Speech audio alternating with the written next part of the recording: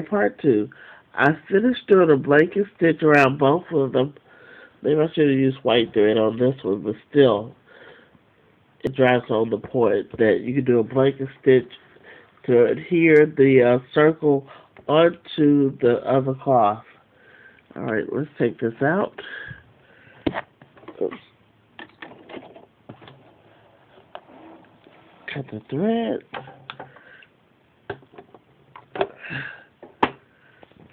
And then let's go to the cutting table. And we're going to cut this bad boy and arrange it into our drunkard's path.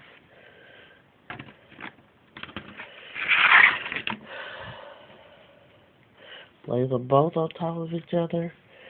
Take the pins out. And then I'm going to cut it down the center. Right down the.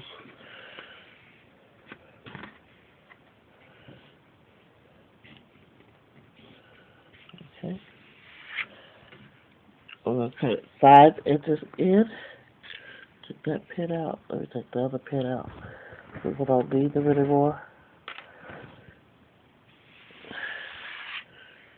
Okay.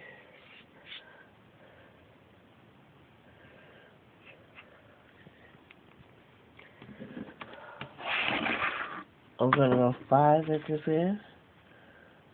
So that'll be right down the center of those ten inch blocks. And I wanna cut it.